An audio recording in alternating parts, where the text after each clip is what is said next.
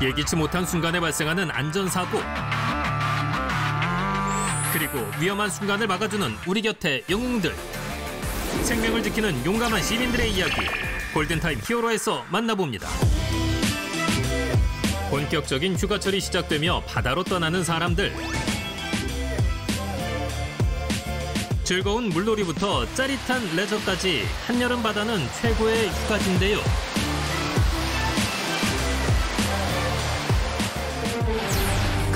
방심은 금물 순식간에 돌변해 피서객을 위협하는 바다의 두 얼굴 아, 위험하죠. 지난 6월 제주의 한 해수욕장 바다에서 물놀이가 한창인 사람들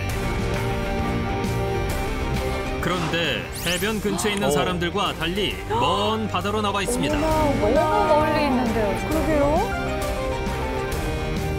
그때 서프보드를 타고 피서객들을 향해 다가오는 한 남성 보드에 사람들을 태운 뒤 헤엄을 쳐서 다시 해변가로 데려갑니다 어, 안전하게 이제 보트로 간 거네요. 정말 다행입니다. 아이고, 힘냈을 뻔했네요. 파도가 강한 지역이에요. 물놀이를 즐기던 사람들이 먼 바다로 떠밀려온 이유 바로 이안류 때문인데요 아, 역파도. 이안유란 파도가 해안에서 해소되지 못하고 바다 쪽으로 급속히 빠져나간 현상인데요. 한마디로 역방향 파도입니다. 쓸려 나가는 거죠. 이안류의 발생 원인은 복합적이지만 높은 파도와 강한 바람의 영향을 많이 받기 때문에 해안가에서 발생할 확률이 높습니다. 네. 너무 놀라실 것 같아요. 이안류의 물살은 초속 3m로 매우 빨라 단숨에 피서객을 먼 바다로 보내기 때문에 공포의 역파도라고도 불리는데요. 그렇군요. 와, 어머나. 이런 위험한 상황에서도 피서객들을 구한 영웅들이 있습니다. 그들을 만나기 위해 제주 바다를 찾았는데요. 야 반갑습니다. 벌써 듬직합니다. 브리핑 피고. 그날 무슨 일이 있었던 건가요?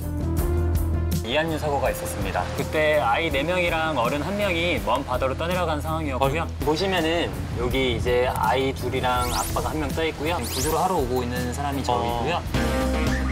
우선 아이 둘을 서프보드에 태워 구조하는 영웅. 그리고 다른 서퍼들도 이안류에 휩쓸린 피서객을 보드에 태웠답니다. 잘하셨네요. 앞으로는 이안류 때문에 절대 나가기가 힘들어요. 맞아요. 그래서 이안류가 없는 지역으로 우회해가지고 아, 돌아서. 나오는 그것도 아는 사람이 아니면 못할 것 같아요. 파도가 높은 잘해도. 쪽은 피하고 비교적 잔잔한 바다 쪽으로 빠져나왔다고요. 아, 진짜 위험해 보입니다. 어느 정도 벗어나면은 물살이 좀 이렇게 당기는 느낌이 안 들기 때문에 그런 느낌이 안 들 때 이제 이안류를 벗어났다고 이제 생각하고 앞으로 이제 천천히 나오시면 돼요. 영웅의 침착한 대처로 피서객 모두 무사할 수 있었답니다. 그런데 다음 날에도 똑같은 사고가 발생했었어요. 아, 이한류 사고가 굉장히 많이 일어나나 봐요. 커플분이 빠지셔가지고 구하러 들어갔죠. 아이고. 구명조끼나 튜브 같은 걸 착용하지 않아서 위급한 상황이었고 이분들도 자기들이 위험하다는 걸 알고 있어서 당황을 많이 하고 계시는 상황이었어요. 다행히 안전하게 구조했다는 영웅. 항상 파도가 조금이라도 크게 되면은 매일 일어나는 일이라고 생각하시면 돼요. 작년 한 해만 10명 이상을 구조했다는 영웅들. 이안류 사고는 순식간에 일어나기 때문에 피서객들이 크게 당황한다는데요. 작년에 구조한 아버지와 아들도 그랬답니다.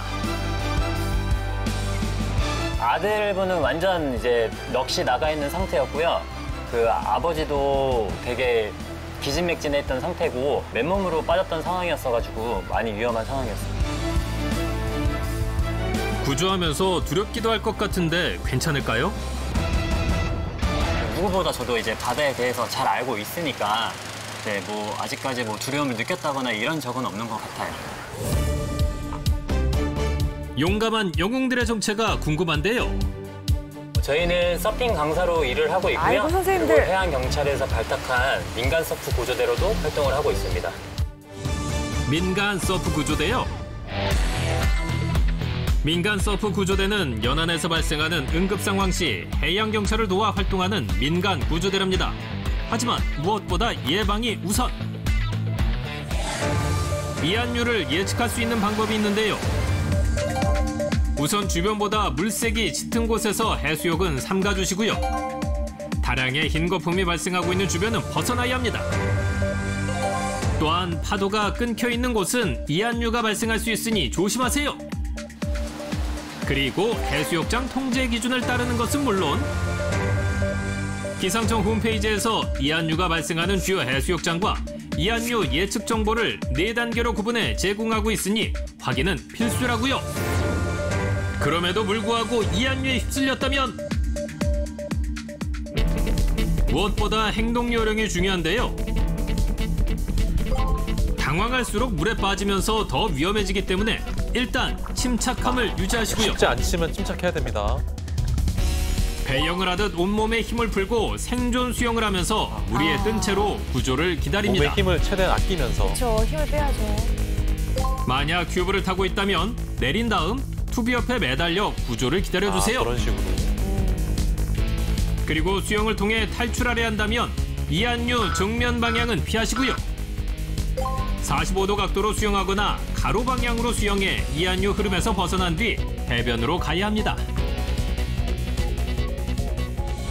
이안류는 몇 시간 동안 지속되는 게 아니라 몇 분 동안 지속되기 때문에 구명조끼를 착용하고 천천히 기다리시면 해양경찰이나 민간 서프 구조대 분들이 반드시 구조해드리기 때문에 안심하십시오. 앞으로도 위험한 상황이 발생하면 바로 뛰어 들어가겠습니다. 위험한 상황에서 망설임 없이 이웃을 구한 최재영, 손주민 서퍼 우리 곁에 영웅입니다.